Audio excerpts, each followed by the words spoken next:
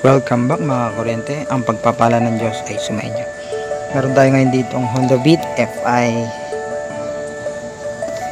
So check natin ano naging problema niya. Start natin.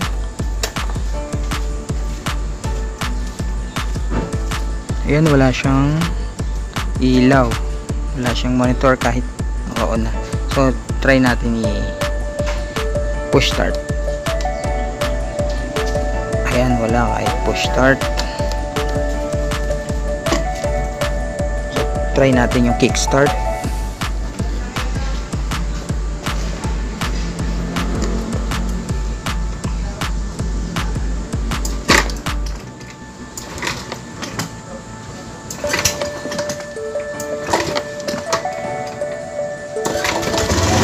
Ayan. Umandar siya sa kick start wala pa rin siyang ilaw. Check natin yung headlight. Okay may headlight siya. Tail light wala siyang tail light so check natin yung fuse. Baka pumutok yung fuse dito. Bukbuksan natin. So ayan nabuksan natin. Check natin yung bawat isang fuse. So dito may nakalagay ritong relay, relay, relay, relay. Main 20, 25 amperes main. Ito ay reserve extra. Ito yung main. So 10 amperes na lang siya.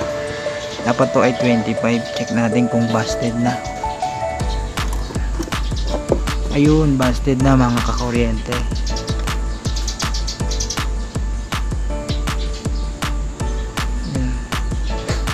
Putol na. Ibig sabihin pumutok to. So napansin ko rito bakit siya pumutok. Nag short kasi ang kanyang charger. Yan cellphone charger. So nag short ito. Naapektuhan yung main. Ayan. So ipalit natin yung spare. Wala na to. Tatapon na to. Ito yung spare. Palit natin doon ayan.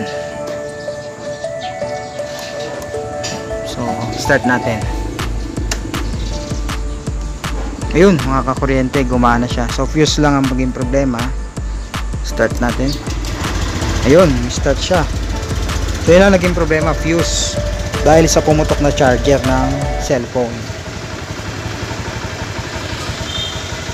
So be careful to live your life wisely not foolishly Ephesians 5.15 Magandang Bible verse mga kuryente na ang ating buhay ilaan natin sa mga makabuluhang bagay sa mga mabubuting bagay dahil kung ang ating buhay ay palaging ginagalawa natin ginagawa nating masama or lagi tayong hindi sumusunod sa Diyos ay walang kabuluhan ang ating buhay. Maiksi lang ang buhay natin mga kakuryente. Kaya dapat natin ialay natin sa Diyos ang ating buong buhay, buong isip at pagkatao Amen. So don't forget to like, share, and subscribe sa ating YouTube channel, Joseph Electric. Keep safe and God bless us all.